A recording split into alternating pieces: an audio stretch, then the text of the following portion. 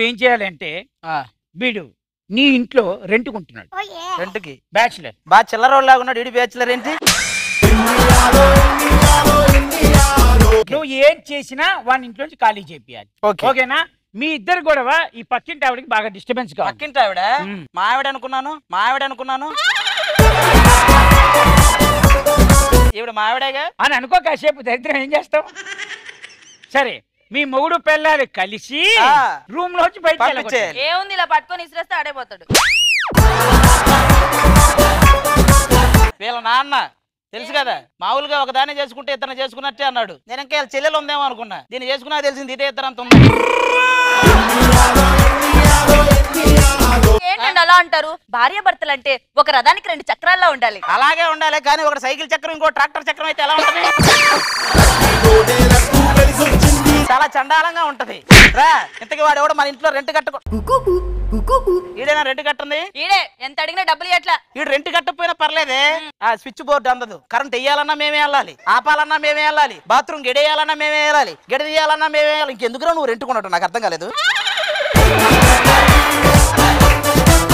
ఎప్పుడు ఖాళీ చేస్తావు చెప్పరా నువ్వు? రెంట్ ఏది ఫస్ట్ ఏం చేస్తావు? రెంట్ రెంట్ రా?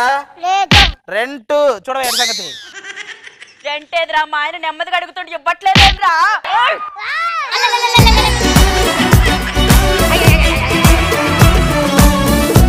మ్యాన్ హ్యాండింగ్ చేయకూడదు భయ్యా. ఆయన మ్యాన్ కాదుగా.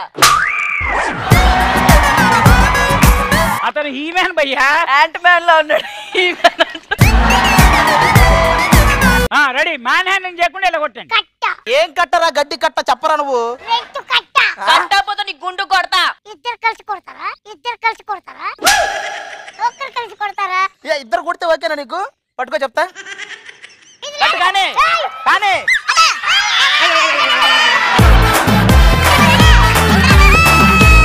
వాడి జేబులో డబ్బులు చూడవే.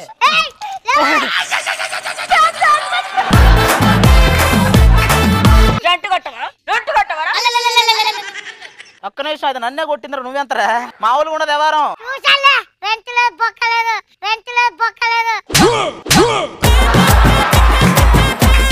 ఏమన్నావురా? నేను ఖాళీ చెయ్యను. ఇల్లు ఖాళీ చేయించాలి అది ఎలాగైనా చేయిస్తాం మేము. వెళ్ళిపోరా.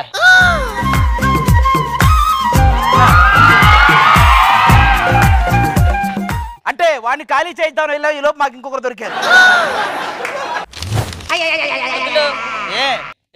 చెప్పాడు కదా నువ్వు పక్కింటి ఆవిడ మా ఆవిడ వచ్చేసింది.